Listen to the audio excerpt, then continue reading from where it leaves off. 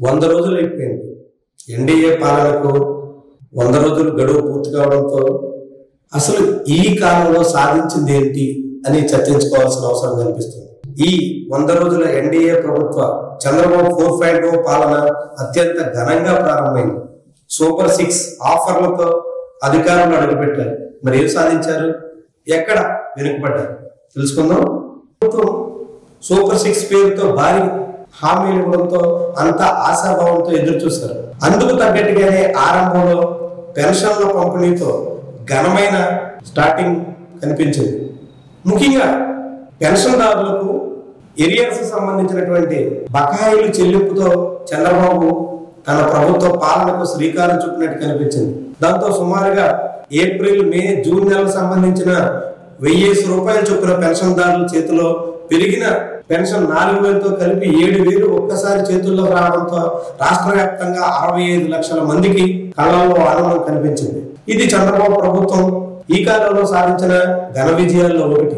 ప్రజలకు జరిగిన మేలు అది. ఇక రెండో విషయానికి వస్తే కొన్ని పాలనాపరమైనటువంటి సంస్కరణలు కూడా శ్రీకారం చుట్టారు. చంద్రబాబు తన పర్యటనలో ఏ ప్రాంతానికి వెళ్ళినా ఆడంబరాలకు పోవడం లేదు. అట్టహాస నిర్వహణకు ప్రాధాన్యత ఇవ్వడం లేదు. చాలా సాదా సీదాగా ఆయన కార్యక్రమాలన్నీ జరిగాయి.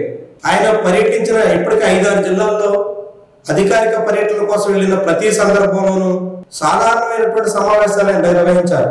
ఆ పేరుతో భారీగా జన సమీకరణలు అట్టహాసంగా సభలు ఇతర కార్యక్రమాల నిర్వహణకు ఏ మాత్రం ఆస్కారం ఇవ్వకుండా సాధారణమైనటువంటి స్థాయిలో ఆయన పాలన ఆయన సభలు జరుగుతున్నాయి. ఇక అసెంబ్లీ విషయానికి వస్తే చాలా స్వల్పమైనటువంటి రోజులు మాత్రమే అసెంబ్లీ సమావేశాలు నిర్వహించారు. అసెంబ్లీలో విపక్షమే లేదు. దాంతో పూర్తిగా స్వపక్షంతో నిండిపోయినటువంటి కార్యాచరణ కావడంతో ప్రాధాన్యత కనిపించట్లేదు. ఇప్పుడు రెండు సార్లు మొదట ప్రమాణ స్వీకారాల కోసం ఆ తర్వాత కొద్ది రోజుల పాటు సమావేశాలు మాత్రమే నిర్వహించి చేతులు దులుపుకున్నారు. ఇక బడ్జెట్ అయితే కనీసం ముందు కూడా రాలేదు. ఓటాన్ అకౌంట్ విషయం కూడా అసెంబ్లీలో చర్చకు రాలేదు. ఇట్లా అసెంబ్లీ వరకు సాగింది. ఇక జీవోఏఆర్ లాంటి గతంలో జగన్మోహన్ రెడ్డి ప్రభుత్వం ప్రభుత్వం విడుదల చేసే జీవోలు సామాన్య ప్రజలకు చేరకుండా వెబ్సైట్లో ఆ వివరాలు అందుబాటులో లేకుండా చేసినటువంటి తీరుని చంద్రబాబు ప్రభుత్వం మార్చేసింది. హైకోర్టు ఆదేశాలతో జీవోఐఆర్ని పునరుద్ధరించింది. ఇది చాలా మందికి ఉపయోగపడేటువంటి అంశం. మరొకటి రిజిస్టర్ ఆఫీసుల్లో వలస పాలన లాంటి ఆడవాళ్ళను తుంచేస్తూ ఆ రిజిస్టర్ చుట్టూ ఉన్నటువంటి అంగులు ఆర్భాటాలన్నీ తొలగిస్తూ తీసుకున్నటువంటి నిర్ణయం కూడా చాలా మందికి నచ్చినటువంటి అంశం. ఇలాంటి కొన్ని మంచి నిర్ణయాలతో చంద్రబాబు పాలనలో కొన్ని మార్పుల కోసం ప్రయత్నం చేస్తున్నారు. అదే సమయంలో అనేక వైఫల్యాలు కూడా కనిపిస్తున్నాయి. ఎన్నికల ముందు ఇచ్చినటువంటి హామీల విషయంలో ప్రభుత్వం ఇంకా నాంచుతూనే ఉంది. దాని మీద విపక్షం ఆరోపణలు కూడా చేస్తున్నారు. కొన్ని బస్సుల్లో మహిళలకు ఉచితం లాంటి సేవలు అందిస్తామని దానికి ఆగస్టు పదిహేను ముహూర్తం కూడా ప్రకటించి అందుకోలేకపోయారు. దాన్ని పూర్తి చేయలేకపోయారు. ఇక అన్నా క్యాంటీన్ లాంటివి అందుబాటులో తీసుకొచ్చి అనేక మందికి ఆకలి తీర్చే ప్రయత్నం ఈ ప్రభుత్వం సాధించినటువంటి ఘన విజయాల్లో ఒకటి. కానీ కీలకమైనటువంటి విషయాల్లో హామీల్ని ఇంకా ఇంకా వాయిదాలు వేస్తూ వస్తున్నారు. తల్లికి వందనం లాంటి విషయాల్లో స్పష్టత లేదు. వచ్చే ఏడాది ఇచ్చేందుకు అనుగుణంగా చేస్తున్నారు. ఉచిత ఇసుక ప్రభుత్వం ఆర్భాటంగా ప్రారంభించిన ఆచరణలో అందుకు భిన్నంగా ఉంది. సామాన్యుల్ని తీవ్రంగా ఇక్కట్లు పాల్చేస్తుంది. అధికార పార్టీ నాయకుల జేబుల్లోకి భారీగా ఇసుక సొమ్ము చేరుతోందన్నది సామాన్యుల అభిప్రాయం. వీటితో పాటుగా వరదలు విపత్తులు సంభవించినప్పుడు అందించాల్సిన సహాయం విషయంలోనూ ప్రభుత్వం తాత్సాధ్యం చేస్తుంది. వరద ప్రమాదాన్ని అంచనా వేయడంలోనూ ప్రజల్ని అప్రమత్తం చేయడంలోనూ ఈ ప్రభుత్వం విఫలమైంది. వీటితో పాటుగా ఎన్నికల హామీల అమలు ఉచిత ఇసుకల లోపాలు వరద సహాయంలో జాప్యాలు వీటన్నిటితో పాటుగా అప్పుల బాధ కూడా పెరుగుతోంది. గతంలో జగన్మోహన్ రెడ్డిని విమర్శించిన అప్పుల విషయంలోనే చంద్రబాబు ప్రభుత్వం ఇప్పుడు వేగంగా ముందుకెళ్తోంది.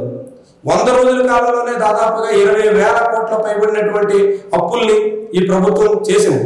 ఎఫ్ఆర్బి చట్టానికి అధిగమించి కూడా నాలుగు నెలల్లోనే అంటే రెండు నెలల పాటు ఆపద్ధర్మ ప్రభుత్వం ఉంది.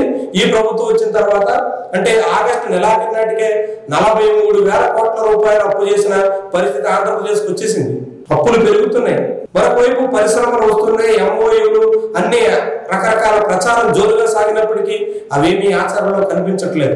బీపీసీఎల్ వచ్చేస్తుంది. మచిలీపట్నంలో దాదాపు అరవై వేల కోట్లతో ప్లాంట్ పెడుతుందని ప్రచారం చేసుకున్నారు. కానీ ఇప్పటి వరకు దానికి సంబంధించినటువంటి స్పష్టత అయితే లేదు. కేంద్ర ప్రభుత్వం ప్రకటించిన కొప్పర్తి లాంటి ఇండస్ట్రియల్ లాట్స్ విషయంలో కూడా ఎంత నిధులు వస్తాయి ఎలా ముందుకెళ్ళాలనేది కూడా క్లారిటీ కనిపించట్లేదు. పోలవరం ప్రాజెక్ట్ విషయంలో గత కాంట్రాక్టర్ అవినీతికి పాల్పడ్డారు. ప్రభుత్వం కాంట్రాక్టర్ వైఫల్యం కారణంగానే పోలవరం కుంటుపడిందని చెప్పినటువంటి చంద్రబాబు ప్రభుత్వం మళ్ళీ అదే కాంట్రాక్టర్కి అప్పగించింది. మెగా కృష్ణారెడ్డి చేతుల్లోనే పోలవరం పెట్టింది. కానీ పోలవరం ప్రాజెక్టు నిధుల విషయంలో కేంద్రం నుంచి ఆశించినంత స్పందన కనిపించట్లేదు. పదివేల కోట్లు త్వరలో విడుదలవుతున్నాయన్న ప్రకటన వచ్చింది.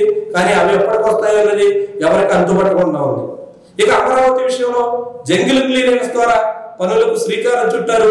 నవంబర్ నాటికి పనులు ప్రారంభిస్తామంటున్నారు. హైదరాబాద్ మద్రాస్ ఎన్ఐటీల ఐఐటీల నిపుణులు వచ్చి వాళ్ళు ఇచ్చిన రిపోర్ట్ల ఆధారంగా ముందుకెళ్ళాలని చూస్తున్నారు.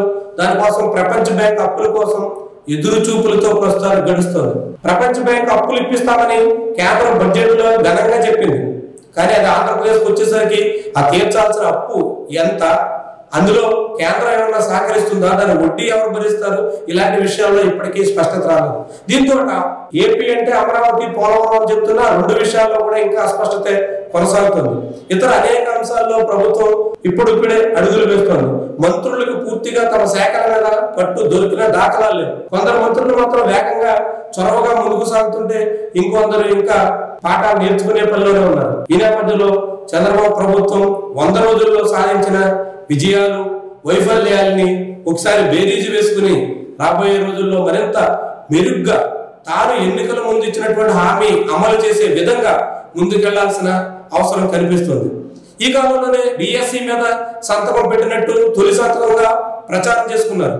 కానీ ఆ డిఎస్సి ఎప్పటికీ టెట్ ఆల్ టికెట్ల కార్యక్రమం మొదలైనప్పుడు కూడా డిఎస్సి ఎప్పటికన్నది ఎవరికి అంతుపట్టట్లేదు ఇతర ఉద్యోగ నియామకాలు కూడా ఏమి ఈ కాలంలో ప్రకటన కూడా రాలేదు. ఉన్నత విద్యలో కూడా అస్పష్టతే ఉంది. ఇలాంటి అనేక గందరగోళాల మధ్య సమస్యల మధ్య ప్రభుత్వం వంద రోజుల పాలన పూర్తి చేసింది.